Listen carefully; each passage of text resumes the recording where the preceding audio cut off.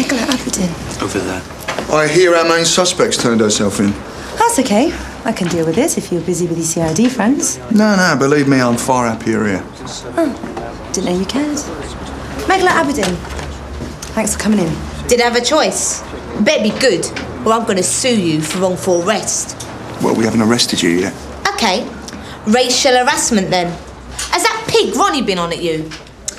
You were identified as being at the scene of a crime. We just need to establish the facts. Yeah? And when do you lot bother about facts? Such cynicism in one so young. I like her.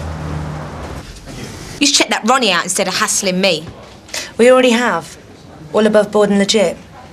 Whereas you, two counts of shoplifting, one of criminal damage. That wasn't my fault. There's another one for counterfeiting CDs.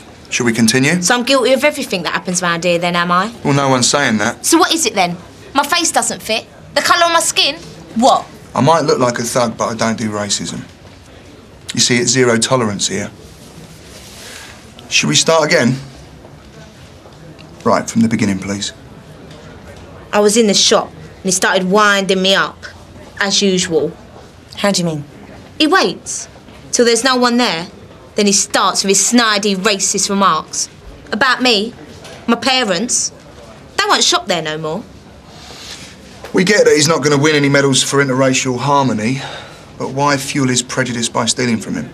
Just got to me. Anyway, I didn't steal from him. I gave the beers back. Gave? Okay. I gave the beers back at speed. Then you stole from him anyway. No, I didn't. How about the money from the till, Megla? What money? I didn't take any stinking money.